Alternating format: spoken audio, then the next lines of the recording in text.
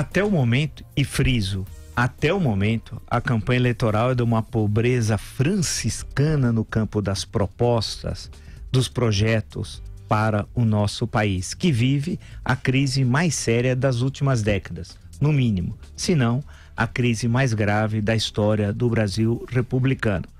Acho que todos nós esperamos que num processo eleitoral tão importante como esse, é, os candidatos, e são muitos, mais de uma dúzia, mas fundamentalmente são cinco, seis candidatos. O resto estão aí só para fingir que é candidato. Eles apresentem propostas para o Brasil, propostas. Saiam do terreno do fuxico, da crítica fácil, da desqualificação do outro, da frase feita. Chega de tirar foto com um cachorrinho, com, com criança no colo. Ninguém aguenta mais isso. Precisa ter proposta concreta. Por isso que o eleitor está decepcionado com o processo eleitoral, porque ele não encontra nos candidatos, até o momento, friso, esse compromisso com o país.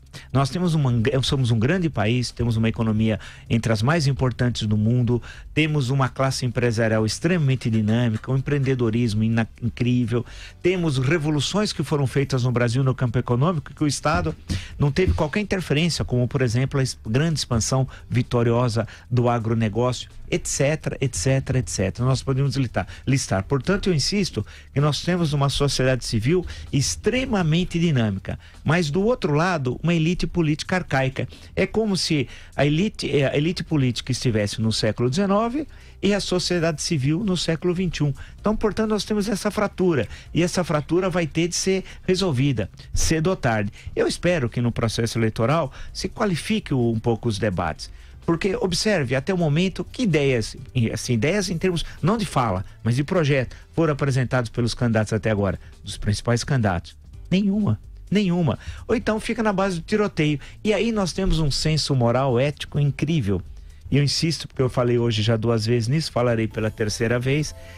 É, eu discordo da, das opiniões do general Mourão e externei aqui diversas vezes que é candidato a vice-presidente na chapa do deputado Jair Bolsonaro. Né? Ontem eu falei várias vezes sobre isso tal.